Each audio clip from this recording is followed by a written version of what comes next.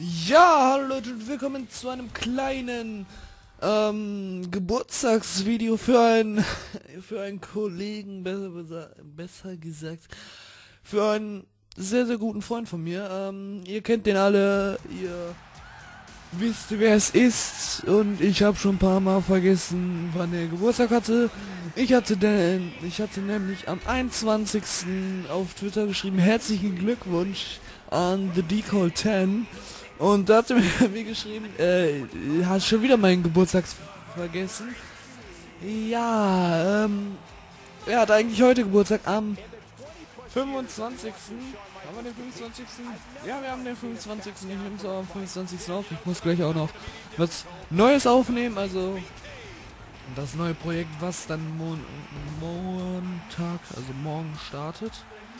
Und ja, wir sehen, ich simuliere euch jetzt mal selber das Match oder spiele für euch das Match Shawn Michaels gegen Triple H. Dann das ist einer der Lieblingsfäden von D-Call und ja, ich werde einfach mal über die ganze Zeit mit ihm reden, also was wir alles gemacht haben und so weiter. Und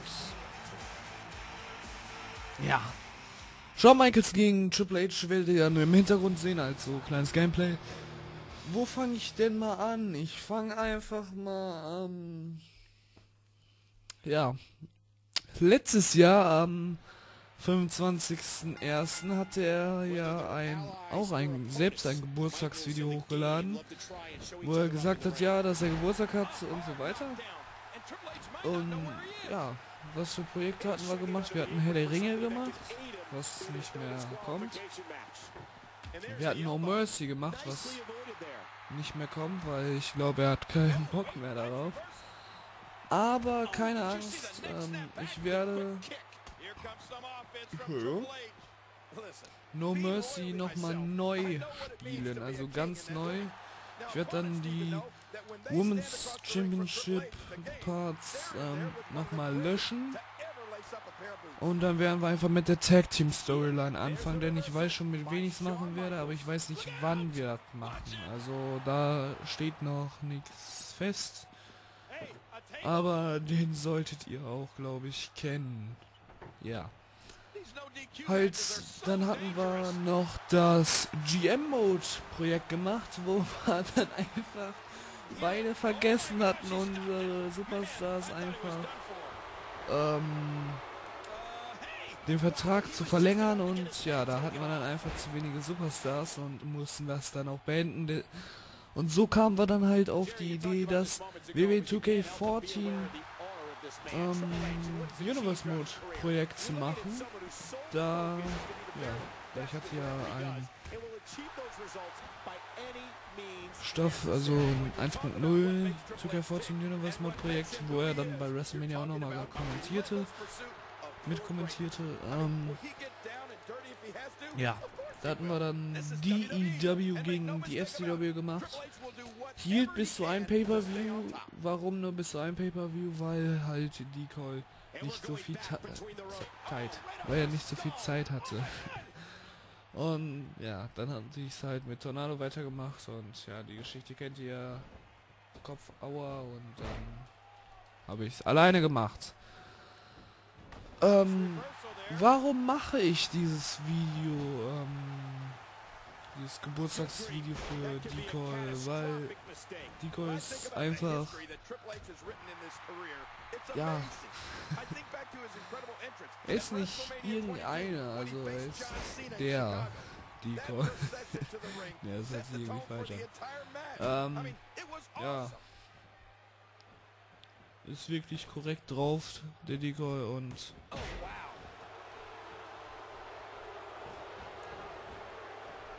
man kann sagen, hat den gleichen Humor wie ich. Haben zwar viele, die ich kenne, äh, mit denen ich abhänge, aber ja. Keiner wird sich über einen Owen Hart lustig machen. Obwohl wir das auch nicht meinen, also da hoffentlich versteht es auch, wie es meinen. Und jetzt erstmal der Pedigree. Oh nee, Shawn Michaels kontert. Triple H kontert. Okay. Ähm, was hatte er, äh, was hatte er für Projekte gemacht? Ich will jetzt damit auch noch so ein bisschen Werbung für ihn machen, falls er noch weitermacht mit YouTube, weil ich weiß nicht, wie es im Moment mit ihm aussieht, äh, mit YouTube und so, ob er noch Bock drauf hat, kann er ja mal in die Kommentare schreiben, wenn ich gehe mal davon aus, dass er dieses Video sehen wird. Ähm, kannst ja mal reinschreiben, ob du noch mit YouTube weitermachen willst. Und wenn ja, dann kannst du ja mal mir per Twitter, Skype oder in die Kommentare einfach schreiben, womit du weitermachen würdest. Ob du ja auf ein weiteres Together mit mir irgendwie Bock hättest. Wer hätte schon Bock auf ein Together mit mir? Keine Ahnung. Ähm, ja, kannst du ja einfach mal reinschreiben. Was hatte er für Projekte gemacht? Er hatte das Projekt gemacht, was ich auch gemacht hatte, also Assassin's Creed. Assassin's Creed werde ich ähm, ab Montag erstmal pausieren. Ähm, dass hier mal klar ist für das neue Projekt. Ähm, er hatte dann noch so ein Livestream-Projekt gemacht, ähm, SmackDown vs. Raw 2006. Und hier sehen wir erstmal die zwei, äh, die richtige Screeching Music von Shawn Michaels und der geht auch Im Stücke Showcase Mode heißt es der. Aber es ist die Screeching Music. Egal.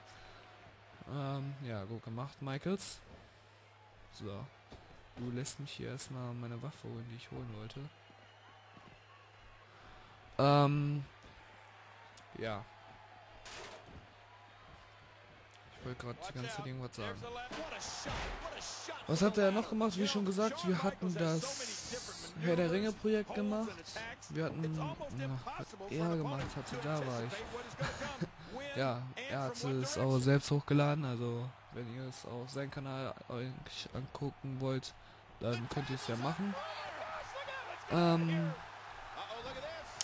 dann hatte er mal, also er ich gehe mal davon eher aus, dass er eher streamen würde, anstatt Videos hochladen würde, weil ja, Streamen ist einfach leichter als irgendwelche Videos hochzuladen, denn die muss noch bearbeiten und so weiter, aber Streamen, da muss einfach nur das Programm einschalten und das war's dann mit den Einstellungen.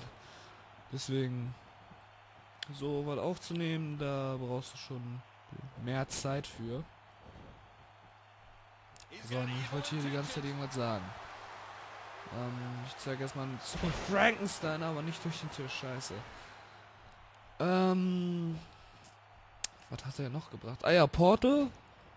Porto hat er gebracht. Das habe ich, das war einer der Projekte, die ich aktiv, aktiv ähm, geschaut hatte. Also damals, wo ich ihn auch noch kannte, da lief das Projekt auch noch. Ähm,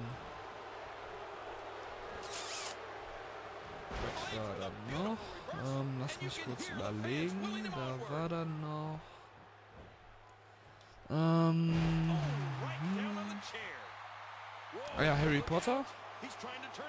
Harry Potter darf man nicht vergessen. Und noch. Ähm.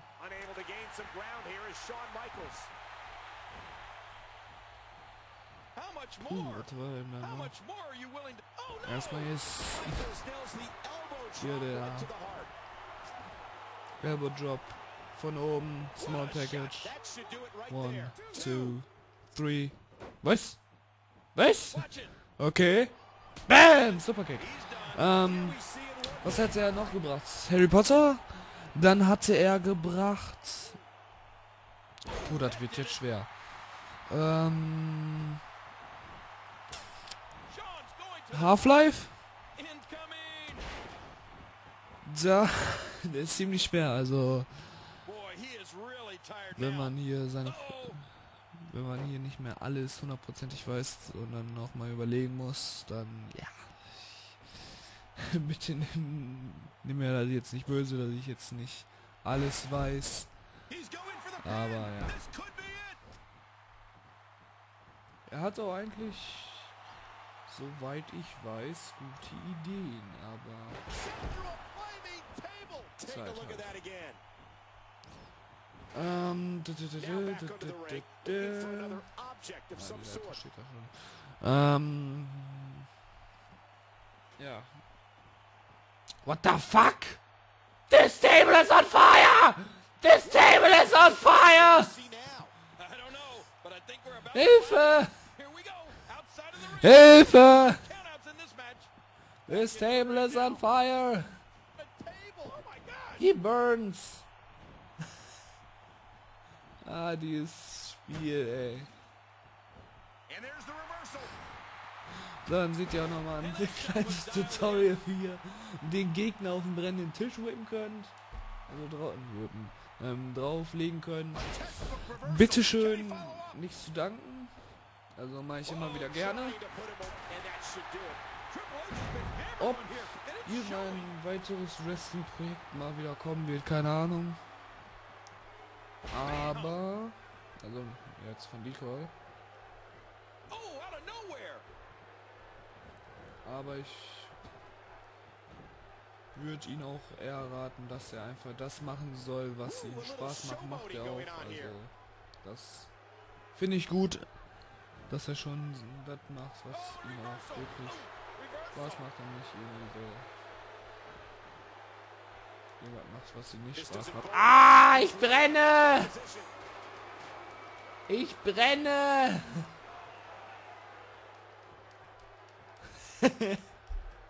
Schau Michaels wirklich gerät.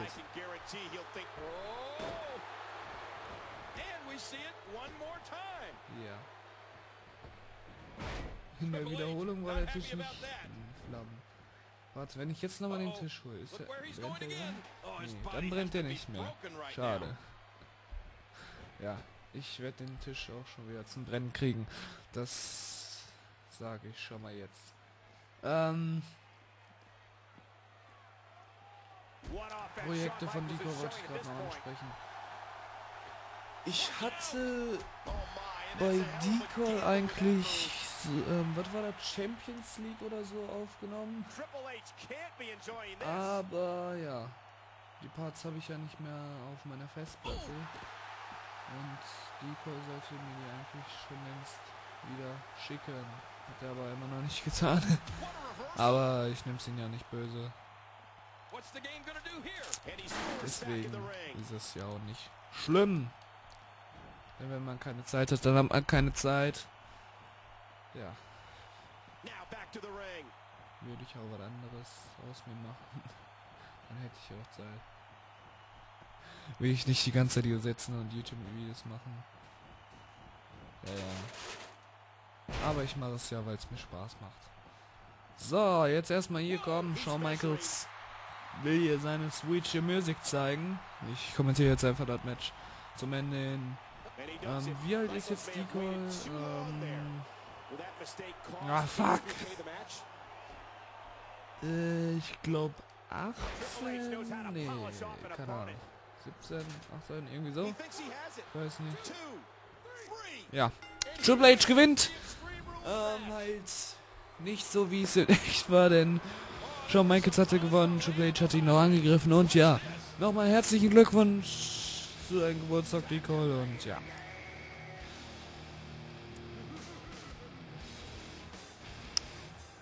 Falls du noch irgendwann weiter mit YouTube machst, freue ich mich darauf schon. Und dann würde ich einfach sagen, wir sind uns einfach am Montag wieder bei dem neuen Projekt. Und ja, ich kann es ja schon mal hier ankündigen. Es ist das 2K Showcase Projekt. Ich werde erstmal mit der Hustle Loyalty and Disrespect Storyline anfangen. Da diese Triple H gegen Shawn Michaels Storyline finde ich halt besser und das Beste kommt zum Schluss. Und danach kommt Who Got NXT.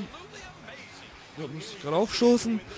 Ja, Who Got NXT und dann kommt auch vielleicht ein Universe Mod. Ich bin mir nicht sicher, wie ich das machen werde. Ich werde vielleicht einen Universe Mod machen, falls ich darauf Bock habe.